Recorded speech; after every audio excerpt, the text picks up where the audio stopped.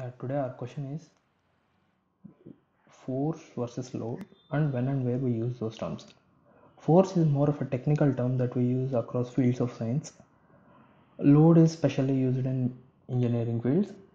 Units for both force and load are newtons. Uh, if I have to say all loads or forces but all forces need not be loads.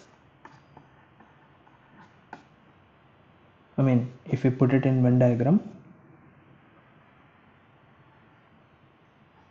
forces and some part of forces are called loads. So let us see when and where we can use those terms. If there are forces which make the body moves, that is, if net force creates acceleration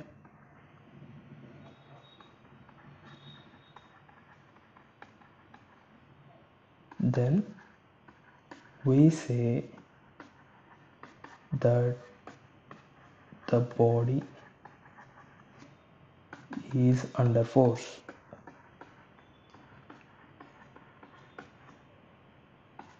If sigma f cannot create a force cannot create an acceleration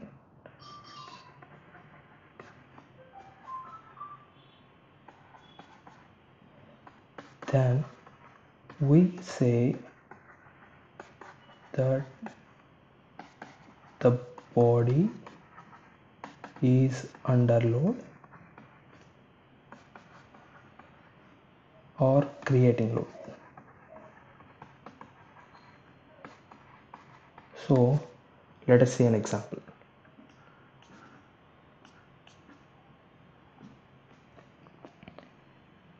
If we consider a frictionless table, mu is equal to 0 and a body is kept on, a, on the surface, if we apply some force, it will start move with an acceleration, let's say a.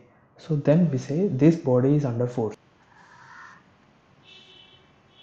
Let us say this is earth and let us say there is a car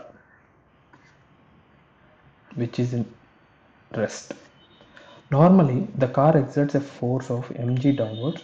At the same time, the ground exerts a normal force which is equals to same gravitational force. Now we say that the car is uh, expressing load onto the earth. Or yeah that is a common practice. We say that this car is exerting load of mg onto the earth. So this is the difference between force and load.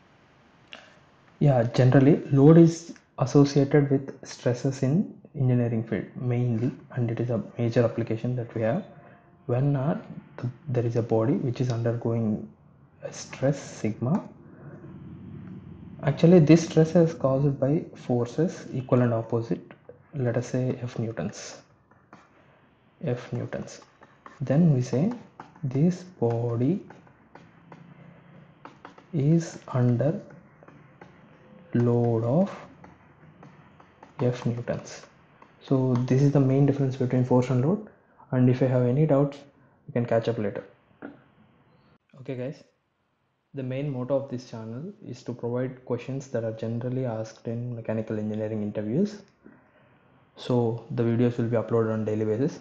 For more of this kind of videos keep following this space. Goodbye